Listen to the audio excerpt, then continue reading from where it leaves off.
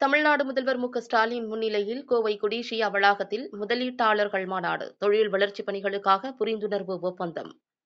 கோவையில் முதலீட்டாளர்கள் மாநாடு நடைபெறுவது கோவையின் அடுத்த கட்ட தொழில் விரிவாக்கம் வளர்ச்சி மற்றும் வேலைவாய்ப்பு அதிகரிப்புக்கு உதவும் என தொழில் முனைவோர் நம்பிக்கை தெரிவித்திருக்கின்றனர். தமிழ்நாடு முதல்வரின் இரண்டாவது நாள் சுற்றுப்பயணத்தில் இன்று தொழில் முதலீட்டாளர்களை சந்தித்தார். தென்னிந்தியாவின் மான்செஸ்டர் என அழைக்கப்படும் கோயம்புத்தூரின் தொழில் வளத்தை மேம்படுத்த இது உதவும் என தெரிகிறது. இந்த நிலையில் மூன்றாவது முதலீட்டாளர்கள் மாநாடு கோவையில் நடைபெறும் என அறிவிக்கப்பட்டுள்ளது.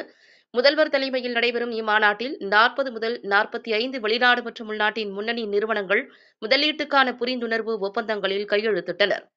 கோவையில் நடைபெறவுள்ள முதலீட்டாளர்கள் மாநாடு இங்குள்ள தொழில்துறையின் அடுத்த கட்ட விரிவாக்கம் வளர்ச்சி மற்றும் வேலைவாய்ப்பு அதிகரிப்புக்கு உதவும் என்கின்றனர் தொழில்துறையினர். தமிழ்நாடு முதல்வர் மு ஸ்டாலின் தொழில்துறை அமைச்சர் தங்கம் தென்னரசு தொழில்துறை செயலாளர்கள் கோவை மாவட்ட ஆட்சியர் சமீரன் முன்னணி தொழில் அதிபர்கள் கலந்து கொண்டனர் India to exchange the MOU. Hindustan Unilever Limited plans to manufacture nutrition and beverage products in Tamil Nadu.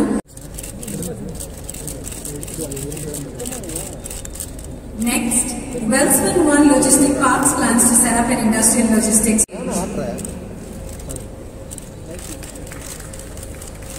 Photographer என்ன